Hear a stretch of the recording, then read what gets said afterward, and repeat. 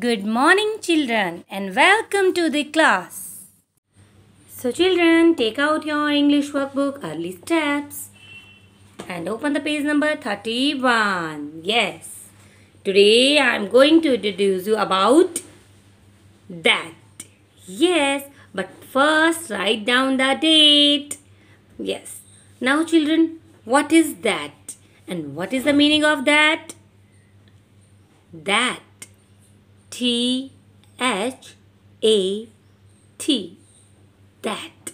That means वह that का हिंदी में मीनिंग होता है वह and how can we use it कैसे यूज़ कर सकते हैं इसको हम?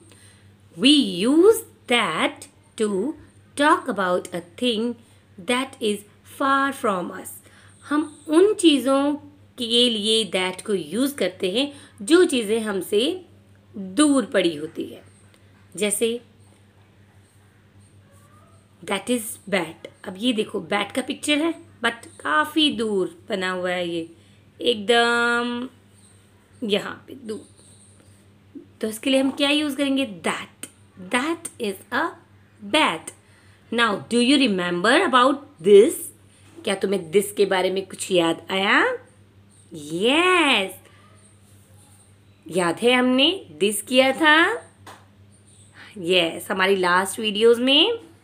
तो दिस का यूज़ होता है जो चीज़ें हमारे पास हो। Like this is a pencil ये मेरे पास है but see that is a toy वो मेरे काफ़ी दूर पड़ा है। मेरा हाथ वहाँ तक नहीं पहुँच रहा है। It means that that is a toy वो एक टॉय है, वह एक टॉय है, खिलौना है।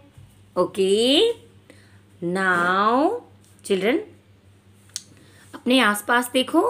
Yes look at here and there देखो, आपके घर में आपके आसपास कुछ आपको नज़र आ रहा है। जैसे कि मेरे पास ये पिगी बैंक है।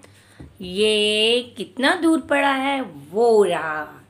That that is my piggy bank Doraemon piggy bank. Yes that देखो, मेरा हाथ उस तक नहीं पहुँच रहा है। तो जो चीज़ें हमसे दूर होती हैं, हम जिनको छू नहीं सकते, उनके लिए हम क्या यूज़ करेंगे? दैट राइट एंड जो चीज़ें हमारे पास हैं, हमारे हाथ में है, हमने टच किया है, उसके लिए हम क्या यूज़ करते हैं? This correct now students Complete the sentences. Number one. That is a. What is this? Yes, this is a picture of a zip. Zip. And it is blue. That is a picture of a zip. Tell me spelling of zip. Yes, you are right. Z I P. Zip. Full stop. Okay. That. Remember one thing, first letter should be capital. When we uh, write sentences, जब भी हम sentences लिखते हैं या use करते हैं तो उसमें first letter should be capital. Okay? That is a zip. Okay? It is blue. और ये blue color की zip है. Now, student, remember one thing. आपकी जो बुक में है ये सेंटेंसेस है और सेंटेंसेस से थोड़ी दूरी पर पिक्स बनाई गई है। ठीक है? इससे क्या शो होता है कि ये पिक्स के लिए हम क्या यूज़ करने वाले हैं?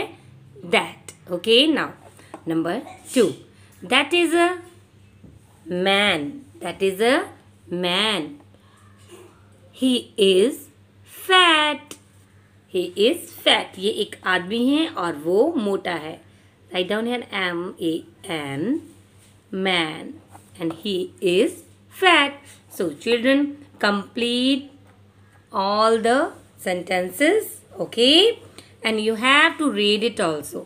आपको खुद पढ़ना भी है okay so students have a good day please do subscribe like and share